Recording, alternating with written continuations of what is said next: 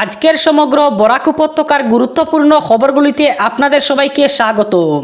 ভিডিওটি সম্পূর্ণরূপে দেখবেন এবং ভিডিওটিতে একটি লাইক করে শেয়ার অবশ্যই করবেন এবং চ্যানেলটি সাবস্ক্রাইব করে পাশের বেলাইকনটি বাজিয়ে রাখবেন। অরুণোদয় প্রকল্প নিয়ে বিরাট ঘোষণা।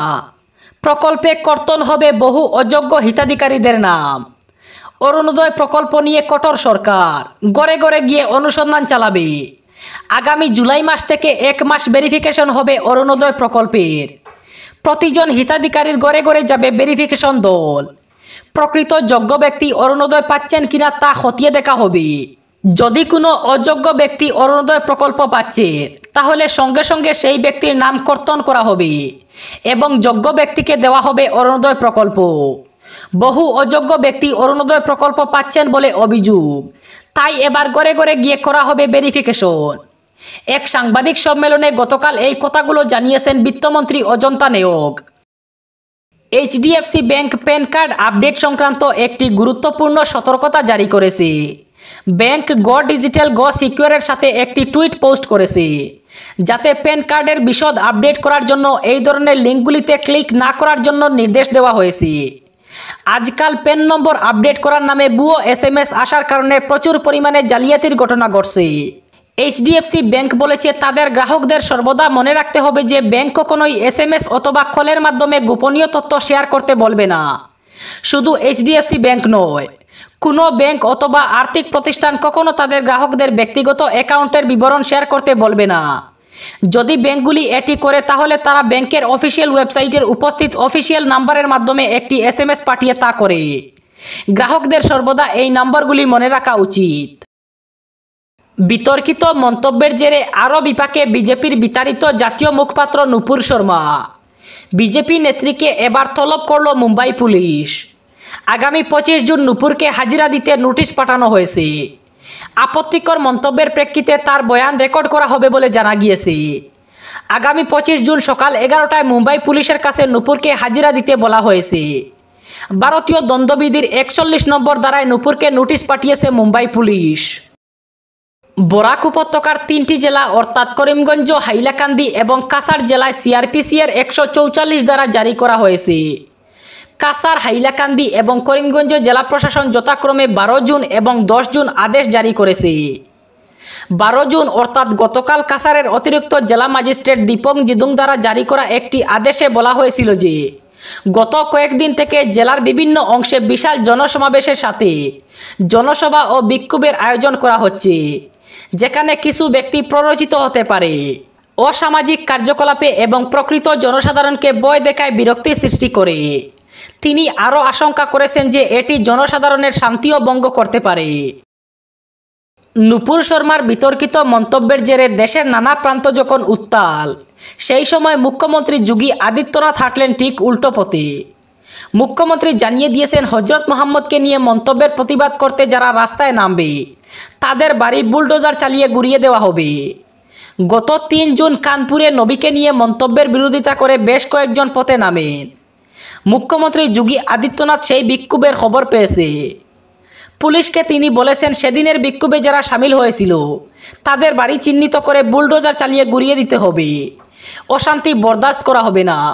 মুখ্যমন্ত্রীর থেকে নির্দেশ পেয়ে রাজ্য পুলিশ সেদিনের বিক্ষোভে সামিলদের চিহ্নিত করে। তাদের বাড়ি বুলডোজার চালিয়ে ব্যঙ্গে দিয়েছে। বাড়ি ভাঙ্গার পাশাপাশি হিংসাত্মক ঘটনার সঙ্গে জড়িত থাকার অভিযোগে রাজ্য পুলিশ বিভিন্ন জায়গায় তল্লাশি চালিয়ে বেশ কয়েকজনকে গ্রেফতারও করেছে। রাজ্য সচিবালয় সূত্রে পাওয়া খবরে জানা গিয়েছে, মুখ্যমন্ত্রী যোগী আদিত্যনাথ শনিবার মন্ত্রিসভার বৈঠক করেন। বৈঠকে রাজ্য পুলিশের বেশ কয়েকজন পদস্থ কর্তা উপস্থিত ছিলেন। শনিবারের বৈঠকে উত্তরপ্রদেশের আইন শৃঙ্খলা পরিস্থিতি নিয়ে আলোচনা হয়েছে। মুখ্যমন্ত্রী যোগী আদিত্যনাথ প্রশাসনের পদস্থ কর্তাদের বলেছেন, কোনো অবস্থাতেই উত্তরপ্রদেশ অশান্ত হতে দেওয়া যাবে না। রাস্তায় চলবে না কোনো ধরনের বিক্ষোভ। শুক্রবার যারা বিক্ষোভ দেখিয়েছে তাদের বিরুদ্ধে প্রয়োজনীয় পদক্ষেপ নিতে হবে। করোনার টিকা নিয়ে তেরো জন ছাত্রী অসুস্থ হয়ে পড়লেন। পাতারকান্দি শিক্ষাখণ্ডের অধীন বাজারিসরা জিপির ছাগলমোহা ট্রাইবেল এম স্কুলের পড়ুয়াদের কোভিড প্রতিষেধক টিকা দেওয়া হয় শনিবার। টিকা নেওয়ার পর তেরো জন ছাত্রীর শারীরিক অবনতি ঘটলে ক্রিস্টিয়ান লেপ্রসি অ্যান্ড জেনারেল হাসপাতালে ভর্তি করা হয়। এ নিয়ে স্কুলের প্রধান শিক্ষক প্রদীপ আচার্য জানান, শনিবার স্কুলে ছাত্রছাত্রীদের করোনা প্রতিষেধক টিকা প্রদানের জন্য স্বাস্থ্যকর্মীরা স্কুলে উপস্থিত হন। পরে সকাল এগারোটা নাগাদ শুরু হয় টিকা প্রদান কার্যসূচি। প্রতিষেধক প্রদানের কিছুক্ষণ পর কিছু ছাত্রীর নানা শারীরিক উপসর্গ দেখা দেয়। বমি ভাব হওয়া শরীর অস্থিরতা করে অবচেতন ভাবের সৃষ্টি হয়। এতে মুহূর্তের মধ্যে স্কুলে আতঙ্কের সৃষ্টি হয়।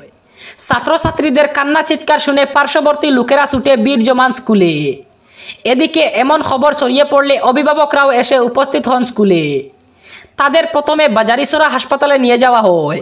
সেখান থেকে এদের মাকুন্দা হাসপাতালে স্থানান্তর করা হয়। মরিয়নিতে বিধায়ক তহবিলের কাজে অনিয়ম হওয়ার অভিযোগ এনে সিআইডিতে মামলা হয়েছিল। এমনকি স্থানীয় বিধায়ক রূপজ্যোতি কুর্মীকে তদন্তের আওতায় আনা উচিত বলে বিভিন্ন মহলে চর্চা চলেছে। ঠিক তখনই এ নিয়ে মন্তব্য করলেন মুখ্যমন্ত্রী ডক্টর হিমন্ত বিশ্ব শর্মা। শনিবার তেজপুরে মুখ্যমন্ত্রী বলেন, রূপজ্যোতির উপর তদন্ত হবে না। প্রকল্পে যদি দুর্নীতি হয়েছে তাহলে জেলাশাসক এবং অফিসাররা শাস্তি পাবেন। কারণ বিধায়ক তহবিলের টাকা রিলিজ হয় ডিসির কথা মতোই। খরচের দায়িত্ব তারই এভাবেই রূপজ্যোতিকে ক্লিনচিট দিয়ে মুখ্যমন্ত্রী বলেন, বিধায়ক তহবিল থেকে এক টাকাও বিধায়ক রূপজ্যোতি কর্মী নিতে পারবেন না। কারণ বিধায়ক তহবিলের টাকা রিলিজ হয় ডিসির কথা মতোই।